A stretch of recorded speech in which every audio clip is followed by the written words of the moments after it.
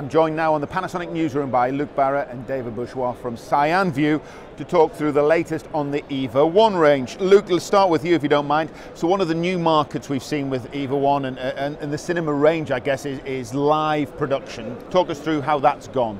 Yeah, there is more and more demand for cinema camera for live production. The reason is on cinema camera you have a, a large sensor with a huge dynamic range and that's what you need when you, when you shoot a show with big highlights uh, when you're doing the exposure, you don't have to choose between dark, dark uh, part or highlight. You, you, can get everything because the dynamic range is huge. You have uh, great color science, a great color space. I, actually, on the EVA 1, it's the same, uh, same color science as the Varicam. Uh, and of course, you can use a cinema lens, which gives you this cinema look and this shallow depth of field.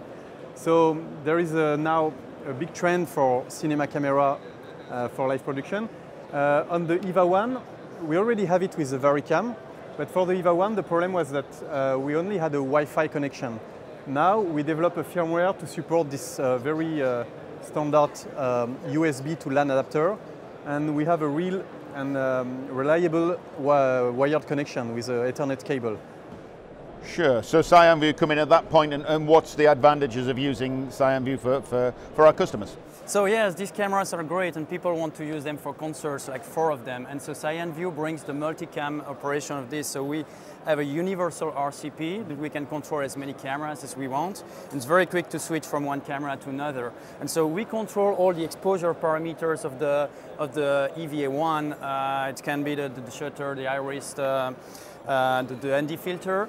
Uh, so you, great, you get a great image quality from that. We also have a universal CCU, and that will allow you to have all the advanced settings like uh, uh, detail, uh, black gamma, gamma saturation. Uh, so the whole kit makes the EVA1 being used as a multicam uh, production for affordable, I would say, types of productions. Gentlemen, that's perfect. Thank you very much for joining us on the Panasonic Newsroom. So that's the EVA 1 Live here at IBC 2018.